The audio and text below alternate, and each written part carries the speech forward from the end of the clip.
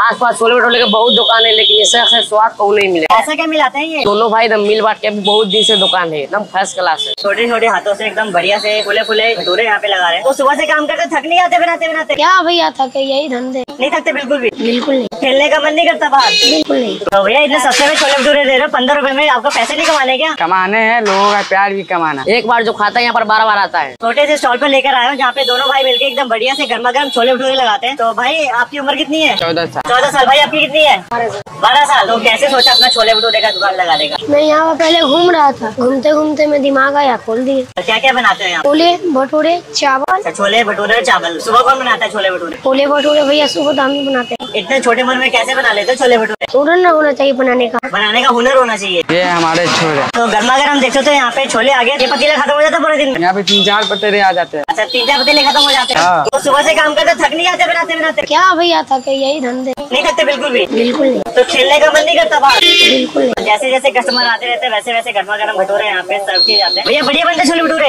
ऐसे छोले भटूरे भैया मिलते हैं मुजफ्फरपुर में कहीं भी नहीं मिले भटूरे मुझे कहीं नहीं मिलेंगे। ऐसा क्या मिलाते हो अपने छोले भटूरे में? छोले भटूरे भैया हम एकदम प्यार से खिलाते हैं। तो मज़ा आ जाता है खाने में? तो भैया एक बार खा के जाता है दोबारा यही पे खाने आता है। कितने रुपए के छोले भटूरे मिलते हैं? दो पीस पच्चीस रुपया। दो भटूरे रहेंगे छोले रहेंगे अचार सलाद। एक पीस खाइएगा भैया पंद्रह रुपया पड़ जाएगा। पंद्रह रुपए का? तो लोग तो छोले भटूरे सौ सौ रुपए में देते हैं। अरे भैया फूट फाट का दुकान है क्या सौ सौ रुपया में?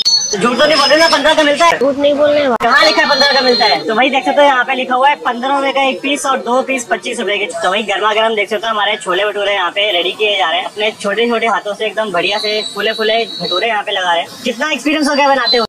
तो एकदम देख सकते हो फूले फूले हमारे यहाँ पे भटूरे तैयार किए जा रहे हैं। अगर आप भी रेलवे स्टेशन गुजर रहे हो और बढ़िया से छोले भटूरे खाना चाहते हो तो हमारे छोटे भाई के साथ यहाँ पे छोले भटूरे ट्राई कर सकते हैं। बहुत ही स्वादिष्ट छोले भटूरे बनाते हैं। हम दोनों छोटा भाई है मिल के दोनों लगाते हैं। अच्छा मिलके लगाते हो दुकान यहाँ पे। क्या क्या मिलता है खाने में यहाँ पे? छोले भटूरे चाट प्याज सब मिलता है। तो बिहार में कहाँ कहाँ से आते हैं लोग खाने के पूरा बिहार का आदमी आता है। अच्छा पूरा बिहार का आदमी आता है? तो ऐसा क्या धमाल मचा के रखा है की लोग इतना पसंद कर रहे हैं अपने छोले भटूरे यहाँ पे? सब हाथ का जादू भाई कैसे लगे छोले भटूरे? भाई यहाँ पर छोले भटूरे मस्त लग रहा है। दोनों भाई मिल बांट के बहुत दिन से दुकान है एकदम फ़र्स्ट क्लास है। काफ़ी मेहनत करते हैं दोनों। दोनों बहुत मेहनत करते हैं भाई पढ़ते भी है दोनों मेहनत भी करते हैं। पढ़ाई में दोनों बहुत अच्छे हैं फ़र्स्ट क्लास करते हैं। आस पास छोले भटोले के बहुत दुकान है लेकिन इससे ऐसे स्वाद को नहीं मिला। ऐसा क्या मिलाते हैं ये? अरे भाई ये सब कैसे बनाते हैं ये तो यही जानेगा मतलब ये भाई बचपन से बनाते हैं अपने घर वालों को सपोर्ट करते हैं। महँगा तो नहीं देते खाने? महँगा नहीं देता। है छोले भटोले है ना यहाँ पर सिर्फ़ पंद्रह में खाने के लिए मिल जाते हैं। एक बार जो खाता है यहाँ पर बार बार आता है। आपके छोले भटूरे रेडी है आप खाइए।